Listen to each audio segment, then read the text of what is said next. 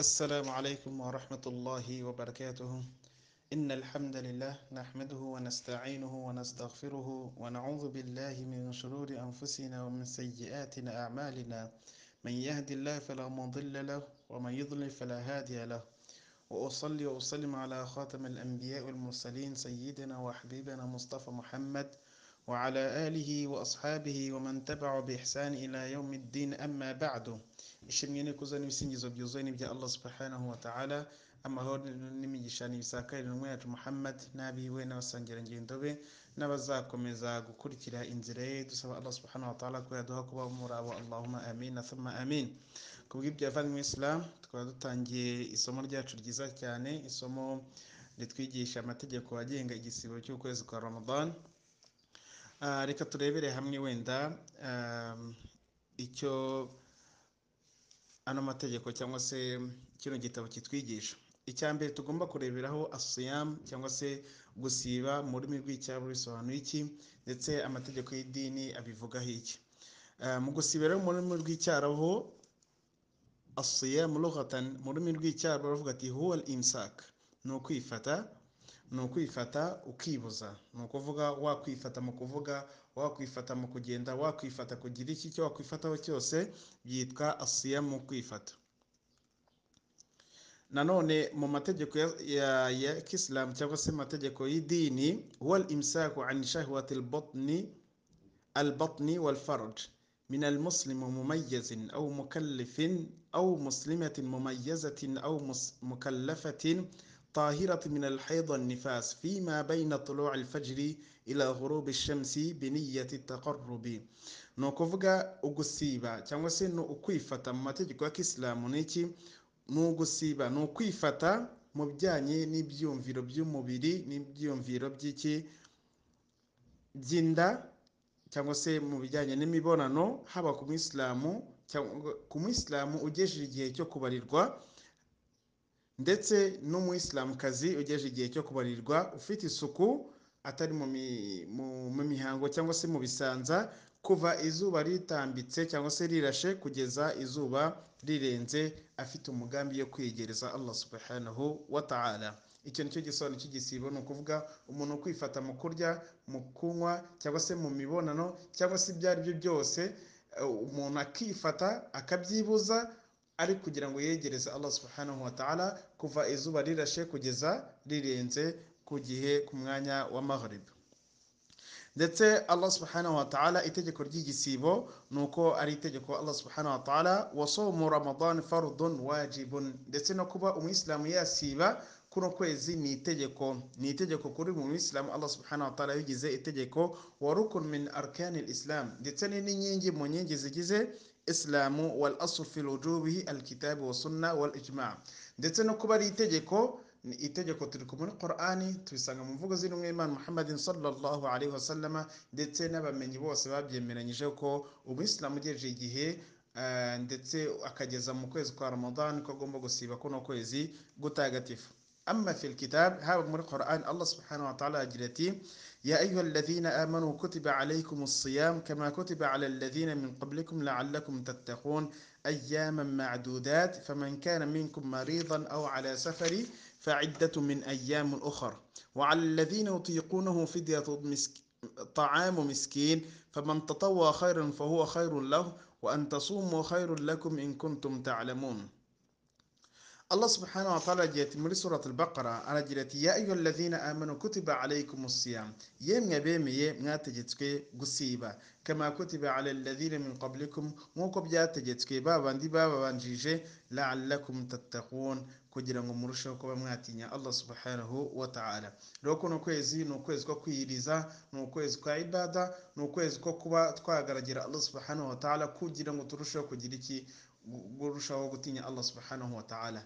Hari uvuga ati n'ubundi nahoraga nsara nahoraga nsari nahoraga nsoma qur'ani nahoraga nsiba kwa mbere no kuwa kane n'iminsi itatu buri kwezi ariko kuno kwezi kuje ari kugira ngo noneho kongere mu- muri ya ibada wajya gukora noneho ugasoma qur'ani amanywa nijoro ugasiba amanywa nijoro ukirirwa utakambira allah subhanahu wa ta'ala usari za tahajjud cyangwa se za tarawih ni ukuvuga kuno kwezi aba ari ukugira ngo twiyongerere mu gutinya allah subhanahu wa ta'ala. Ta'ala. Ndetse n'ikindi no kuri wa muntu wenda waragendaga buhoro mu gusari cyangwa se mu gusiba nanone bimwongera ingufu aho ushoboye kuba yagira iki? Yarushaho gusari ku gihe agasara ku musigiti agasoma Qur'ani mu gihe wenda mu mindi minsi atabikoraga. Kuno kwezi rero nk'uko Allah subhanahu wa ta'ala avuga ati la'allakum tattaqun ni ukugira ngo turusheho kuba twatinya Allah subhanahu wa ta'ala tumugaragire mu kuri ko kumugaragira Allah subhanahu wa ta'ala akomeza avuga ati ayyaman ma'dudat mu by'ukuri ni iminsi ibaze cyane ni iminsi yihuta ni iminsi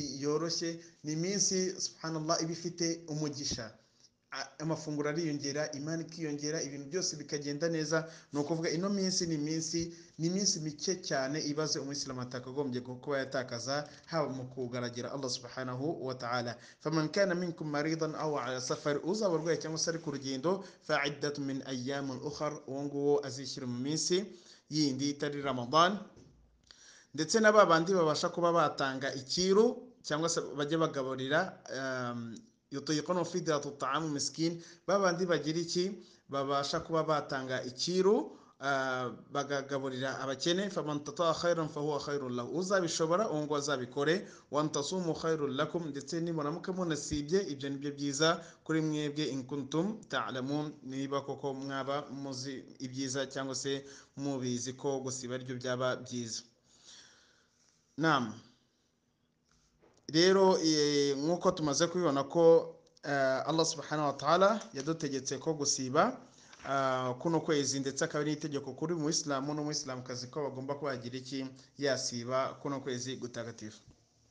Nk'uko twebonye rero twabonye muri Qur'an ko ari itegeko Allah subhanahu wa ta'ala yategetse abemera Imana n'abayisilamu bose ko bagomba gusiba tubona no muri sunna z'intumwa y'Imana Muhammadin sallallahu alayhi wasallama na hadithi igaragara mu gitabo cya Bukhari na Muslim an Ibn Umar radiyallahu anhuma الله صلى الله عليه وسلم بني الإسلام على خمس آه، بني الإسلام على خمس شهادة أن لا إله إلا الله وأن محمد رسول الله وإقام الصلاة وإيتاء الزكاة والحج وصوم رمضان نانوني حديث قرق مجتبه بخاري مسلم يتلت ابن عمر أروي عبد الله بن عمر Uh, no musangeragendo mu masomo yatambutse twaramubonye ko ari umwana wa Umar bin Khattab bombi Imana bishimiye yaravuze ati n'umwimana Muhammad sallallahu alaihi wasallam yaravuze ati mu by'ukuri Islam yubakiye ku bintu bitanu ni uguhamya ko n'indi Imana ikwiriye gusengwa mu by'ukuri sibye Allah subhanahu wa ta'ala wa anna Muhammad rasulullah ukanemera ko intumwa y'Imana Muhammad sallallahu alaihi wasallam ari intumwa y'Imana akaba n'umugaragu we wa iqami sala ugahagarika amasengesho atanu wa ita izaka ugatanga n'amaturo ituro ry'itegeko rya zaka wal hajji ndetse no kugira iki no gukora umutambagiro mutagatifu uri ku nzu y'Imana iri imaka wa soma ramadan ndetse no gusiba ukwezi kwa ramadan mino hadithi rero iratugaragariza ko gusiba ukwezi kwa ramadan ari itegeko nk'uko intumwa y'Imana Muhammadin sallallahu alaihi wasallam maze kutubwira ko ari inkingi ikomeye kuri umuyisilamu rero bishoboye ugeze muri kuno kwezi kagomba kuhagira iki? Kagomba kuba yasiba kuno kwezi. Ndetse n'abamenyi bose n'abayisilamu bamenyi b'abayisilamu bose bemenyeje ko gusiba ukwezi kwa ramadani ari itegeko. Nam ko gusiba ukwezi kwa ramadani ari itegeko. Nk'uko twabibonye rero akaba ari umuntu wifata mu byo kurya mu byo kunywa ku- mu bijyanye n'imibiri cyangwa se n'imibonano kuva bwukeye kugeza izuba rirenze uwo nguwo akabikora kugira ngo yegereze Allah subhanahu wa ta'ala. Ndetse Allah subhanahu wa ta'ala akomeza avuga ati wakulu washrabu hatta yatabayyana lakum al-khayt al-abyad min al-khayt al-aswad min al-fajr nanone Allah subhanahu wa ta'ala agira ati munarye munanywe kugeza ubwo mubashe ko mwatandukanya ijoro cyangwa se n'umucyo. Ni ukuvuga bukeye kuge- kugeza mu gitondo. Ni ukuvuga umuyisilamu atangira gusiba izuba ritambitse cyangwa se umuseke utambitse izuba rirashe kugeza izuba rigize iki? Rirenze.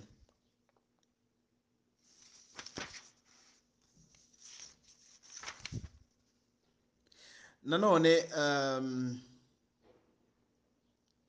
ولا يجب الصوم غير رمضان بالأصل الشرع آه، بالإجماع وقد يجب الصوم بالنظر وكفارة وجزاء الصيد wa nahuhi ndetse nanone nta kindi gisibo cyemerewe ko umuntu yagisiba cy'itegeko usibye ukwezi kwa ramadan. Nanone nk'uko Qur'an imaze kubitubwira ndetse na hadithi y'intumwa Muhammadin sallallahu alaihi wasallama ariko hari ibindi bisibo by'itegeko. Urugero nk'iki iyo yashyizeho umuhigo uvuga ati mana nuramuka unkorera kino kintu nuramuka unyije ino ndwara nuramuka umaye wenda ikinya gusabye nindamuka nsinze kino kizamini nzasiba iminsi itatu. Icyo gihe iyo wihaye umuhigo aba ari itegeko kuko ugomba kugira iki? Kuwishyura. Wakafarati cyangwa se uri gutanga ikiru wenda ku muntu ah, ku muntu wenda wabonanye ku manywa ya ramadan agomba kuba yagira iki? Afite ikiro agomba kuba yatanga cyangwa se ku muntu wabwiye umugore we ko ameze nka nyina abwiye umugore ameze kam- kamumezeho nka nyina ni ukuvuga ikiro cyo agomba kuba yagira iki? Yasiba amezi abiri yikurikiranyije cyangwa se akagabura abakene mirongo itandatu cyangwa se akarekura umucakara. Ni ukuvuga icyo kiro aba ari itegeko. Mukuru w'uko gusiba aba ari iki? Aba ari itegeko kuri wa muntu wagize iki? Wabwiye umufasha we gutyo dore ko ah, naho bihuriye kuba wagiranye umugore wawe cyangwa se eh, n'umubyeyi wakubyaye cyaba akaba ari cyaha gikomeye rero imbere Allah subhanahu wa ta'ala. Rero iyo uguye mu ikosa nk'iryo ngiryo icyo gihe ugomba kuba wagira iki? Watanga ikiru muri icyo kiru harimo gusiba kandi uko gusiba nabwo aba ari iki? Aba ari itegeko. Nama reka dusozereze rero kuri ahwalu siyam ndetse uburyo igisibo cyari kimeze. Uburyo igisibo cyari kimeze آه، كجهة ميمان محمد صلى الله عليه وسلم. كان يصوم الإسلام آه، كان الإسلام يحرم على الصائم الأكل والشرب الأكل والشرب والجماع. ومن حين ينام أو يصلي العشاء الأخير أيهما وجد الأول حصل به التحريم. ثم نسخ ذلك وأبيح الجميع ila aljamiye ila tolo ilfajiri sawa nama amla ni ukuvuga igisibo uburyo byari kimeze ku gihe cy'inwimana muhammadin sallallahu alaihi wasallam kigitangira ni uko umuyisilamu yabaga yemerewe kuba yasiba kuva umuseke utambitse cyangwa se izuba rirashe kugeza izuba rirenze ariko nanone ni ukuvuga mu gihe cyo gufotora kugeza salatul isha noneho uwo mwanya. Iyo uwabaga utawuriyemo al-isha ikinjiramo icyo gihe ntabwo wabaga wemerewe kugira iki kurya cyangwa se kubonana keretse nanone umaze gufunga undi munsi wa kabiri. Ni ukuvuga ndetse ariko iryo tegeko ryaje kuvaho noneho twemererwa ko umuyisilamu yarya kuva ijoro ri- ritangiye kugeza ah, aho riri burangire noneho umuntu akifata mu gitondo. Ndetse byagaragaye ku musangirangendo witwa hadithi ku musangirangendo ويتكا صرمة الأنصاري آه، أن قيس ابن صرمة يتكا قنمم سنجري جندو يتكا آه، قيس مين صرمة ومو أنصار. Sirma w'umu ansar ansar ni ba- bakiriye intumwa y'imana muhammadin sallallahu alaihi wasallam bavuye bari batuye i madina. Nuko rimwe yigeze gusiba noneho hazira umugore we aramubaza ati ese hari icyo ufite cyo kurya? Umudamu amubwiye ati ntacyo mfite ubu ngubu ariko reka nsohoke hanze nshake icyo nagira iki na- nagushakira kugira ngo ubashe kuba wafutura nuko umugore aragenda noneho agarutse asanga umugabo yaryamye. Kandi ntabwo byabaga byemeye ko wabyutsa umuntu mu gihe wenda ya- yaryamye. Ku bw'ibyo umudamu aravuga ati uhuye n'ibibazo. Nuko al qais agira iki? Arasiba umunsi ukurikiyeho noneho bigeze ku manywa yikubita hasi agwa igihumure kubera ki izuba ryinshi ndetse n'iki? N'inzara kuko atabashije gufuta unuti ndetse atabashije no kurya idaku noneho bigera ku ntumwa y'imana muhammadin sallallahu alaihi wasallama allah subhanahu wa ta'ala amanura ayivuga ati uhilla lakum laylatu siyam rafathu ila nisaikum. Ndetse uh, allah subhanahu wa ta'ala amanura ayavuga ati uhilla lakum laylatu siyam rafathu ila nisaikum. Kubw'ibyo ubu ngubu noneho mwemeye mu joro ry'igisibo mwemerewe kuba mwagira iki? Mwaganira no ku bagore banyu cyangwa se mukanabonana.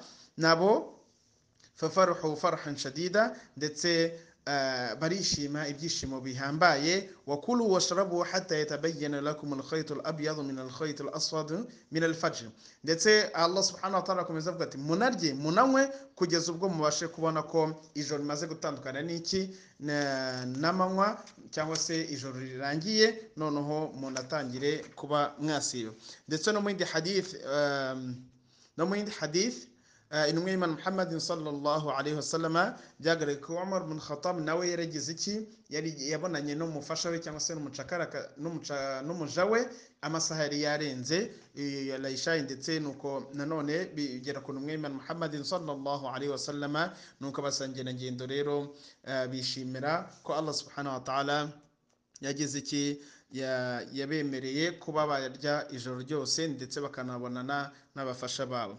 Reka dusozereze hamwe none nanone kuri uburyo igisibo cyari kimeze n'amaraheli cyangwa se ibice igisibo cyaciyemo.